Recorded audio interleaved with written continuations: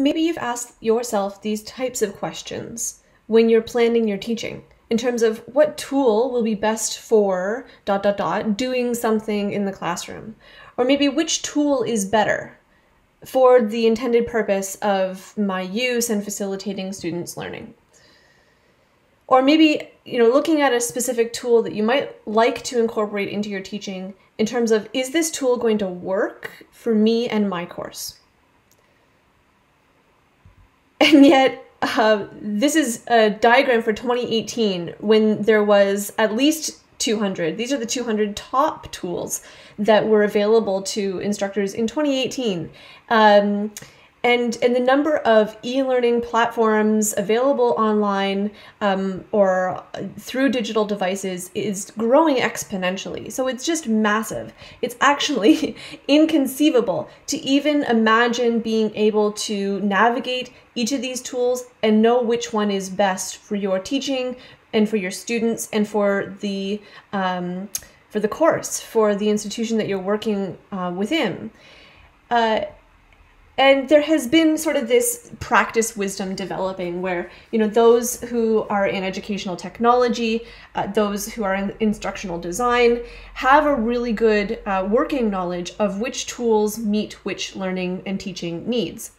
But when it comes to individual instructors making that choice it's a lot to navigate and it's it's hard to do. There are some models. So this is the 2015 sections model by bates um, and it was one of the earlier forms of suggesting that a lot of different elements, these, you know, as Bates put it, eight different elements, feed into an instructor's selection of media for their teaching.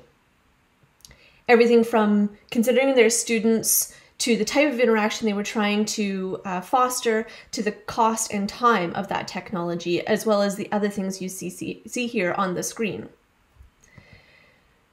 A colleague of mine, Dr. Gavin Watson, who's at Memorial University now, and myself developed a, a rubric for e-learning tool evaluation that drew on some of this previous literature, but was also specifically designed for instructors and educational uh, support staff to formatively evaluate an e-learning tool. So before the tool gets implemented into the classroom practice, into a course, um, looking at that tool very critically from the multidimensional aspects of, you know, considering function, technology, and then the teaching and learning elements of a tool.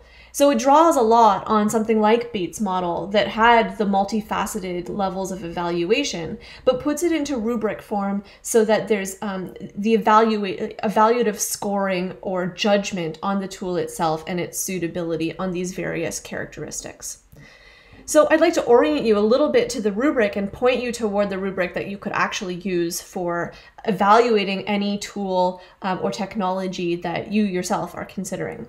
So the rubric has eight uh, categories. Within each category are sub-criteria. Uh, the categories specifically are functionality, accessibility, and technical, mobile design, and then privacy, data protection, and, and rights all together as one. And then um, the presences, social, teaching, and cognitive, are each broken down as their own uh, categories there to, to comprise the eight.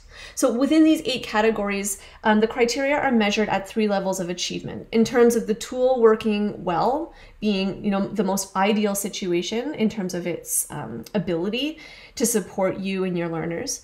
Uh, some situations where there might be minor concerns within that particular sub criteria, or where serious concerns are definitely worth flagging and um, and looking into a bit further.